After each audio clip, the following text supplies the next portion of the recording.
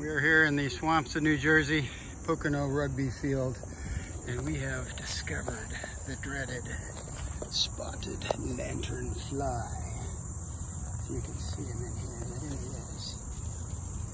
Now, they can be very tricky to catch. And you would expect them here in a swamp, but see if I can grab them. Yes, with my bare hands, ladies and gentlemen. And now my lovely assistant, Jeff, is going to eat him.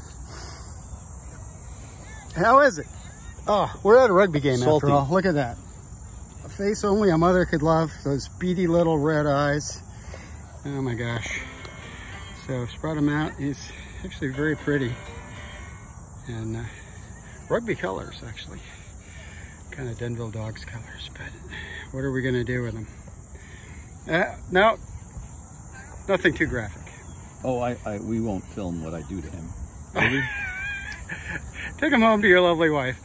Or uh, maybe one of these rugby girls will take care of him. Anyway, there we are, over and out from the swamps of New Jersey, Pocono Field. Dun, dun, dun.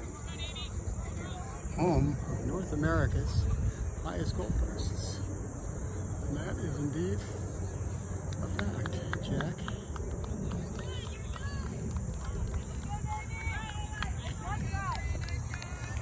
So this is one way. You kind of bundle it up in a lovely little package and uh, pick it. And then you smush it very gracefully with the sandals. Inbounds. All right. From the wilds of New Jersey. The Dragonfly guys. Yes. Woo! Don't forget your uh, your bag over there. I gotta run.